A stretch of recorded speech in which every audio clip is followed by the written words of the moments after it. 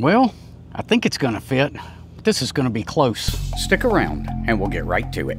You know, every time I do one of these battery upgrades, I think it's gonna be my last time, but these battery manufacturers keep coming out with larger capacity batteries in a smaller size. And well, here I am again, I guess about a year after I did this upgrade, getting ready to upgrade again. Now, originally I had uh, one 100 amp hour battery in this RV. That's what came with it when we purchased it. And I upgraded, uh, was that a 13? Yeah, 13 millimeter. I upgraded to a lithium iron phosphate battery shortly after we got this RV. Oh, I need to remember to turn off that battery. There we go, disconnected. Now we're safe. Uh, where was I? Oh yeah, so I upgraded it to a 100 amp hour lithium iron phosphate battery and I ran that for about two years, I think it was, until I put these two mini 100 amp hour batteries in it. Now these are Wattcycle uh, 100 amp hour mini uh, batteries in here. And the cool thing about these minis was I could fit two of these where that first Group 31 pretty much filled up, well, not all of this case, but enough of it that I couldn't cram two of them in it. So going to the minis was really nice because then I could double my capacity and go from that uh, original 100 amp hour um, lithium iron phosphate to two 100 amp hour lithium iron phosphates. Well, fast forward another year and Wattcycle has done it again. They now have a, I think it's like 314 amp hour battery that's a mini version, and I think it's going to fit in here. Now, I've done my measurements on the case, uh, but there's a little bit of flimsy here, and eh, it's going to be hard to tell until I actually just get the battery in here and try to put it in place. Uh, these two were wired in parallel when I put them in, and these batteries have held up great so far. Really, only one time have I needed more than 200 amps of capacity, and that generally only happens if you're running days and days without sunshine.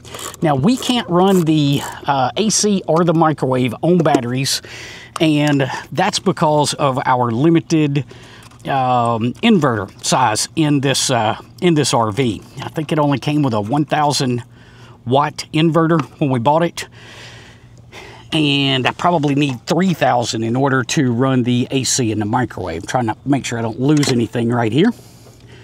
Um, so at some point I may end up upgrading that, but after I just got that Mega 3 unit and I can leave it sitting in the truck, I don't know that I really need to upgrade the inverter. Well, at least not right now. So hopefully all of this is not going to be in vain and that 300 amp battery or 314 whatever it happens to be is going to fit in this. I did do some playing with that battery. It took forever to get that thing charged. I think it only had like 38 percent battery in it and the only charger that i have well i've got two of them but it's a 20 yeah 20 amp charger for those batteries. Well you take 300 uh, amps and divide that out by 20 and yeah well it takes a little while what I did though was I took both of those 20 amp chargers and actually stacked those together so that I was getting 40 amps at a time. Still took several hours, but that cut the uh, charge time down, uh, well, roughly by half. So I'm gonna go ahead and pull these two batteries out and see if we can then get that one 300 amp hour battery in here. That is absolutely perfect.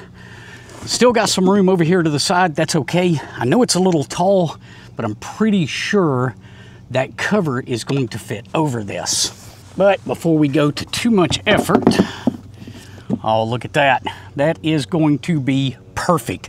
So that's a 314 amp hour mini battery by uh, Wattcycle. And that is perfect if you've got one of these smaller trays on your RV. Now, back to what I was saying about this battery. E, this thing is heavy. It comes in at around uh, 60 pounds. I'm trying not to short anything out right here. Uh, comes in at around 60 pounds. I did not do a capacity test on this battery because my uh, test equipment only goes to 10 amps. And really to do a discharge test, you need to be pulling 0.1 C, so that would have been somewhere in the neighborhood of 31 amps to get good readings out of it. So I'm gonna just have to trust Wattcycle on this one that it is 314.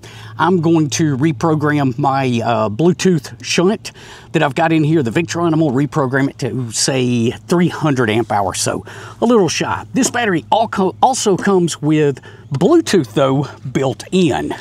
So with that, you can take the uh, Bluetooth app and the battery will also give you an idea of how much, uh, what its level is. It'll tell you how much uh, current is coming into it any, any given time and how much current is going uh, or being taken out of it at any given time. Now let's see, I might actually need to pull that battery over this way just a little bit. Ah, there we go. I think that's going to be in the neighborhood of working. Still got to figure out how to get all this shoved down in there, but we are getting close. So, what did I do with that nut? Did I let that thing fall off the back when I moved that battery? I may have. That's all right. I got some extras if I can't find it. Oh, it's right there in front of me the whole time. Uh, just didn't see it. Forest for the trees or trees for the forest or however that goes. All right, let's go ahead and finish connecting this. But that Bluetooth app is going to give me a kind of a double check on this. My Bluetooth shunt is also going to be hooked up on this. Um, so it'll give us two different ways to kind of keep up and, uh, you know, keep a check on the battery. But I have been very pleased with the two 100 amp hour batteries that I've pulled out of here.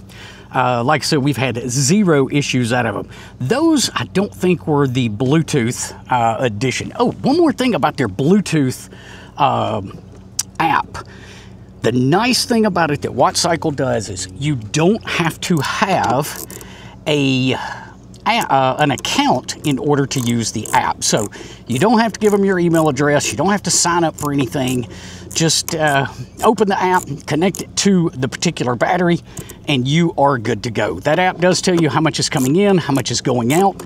You can turn the charging on, you can turn the charging off, and you can even change the uh, BMS parameters inside the app. So uh, several nice advantages with running that app over some of the other companies that I have seen. Now, what did I forget to hook up? One of the positively. Oh, that would be important. That's the uh, positive lead that feeds the radios inside, so we definitely don't want to leave that one out right there. Let's go ahead and get that connected underneath this. Probably need to stop talking and actually do more work uh, before I forget to hook up something critical. Of course, it wouldn't have taken me long to have figured it out when I got inside and I didn't have any power for my radios. But let's go ahead and get this situated. And then we will reprogram the Bluetooth shunt because it thinks we only have 200 amps of uh, battery. We'll have to tell it that we're getting 300 now. And guys, I mean, think about it. That's just a little bit larger, still fits in my box, but gives me 50% more capacity. I just think that's phenomenal.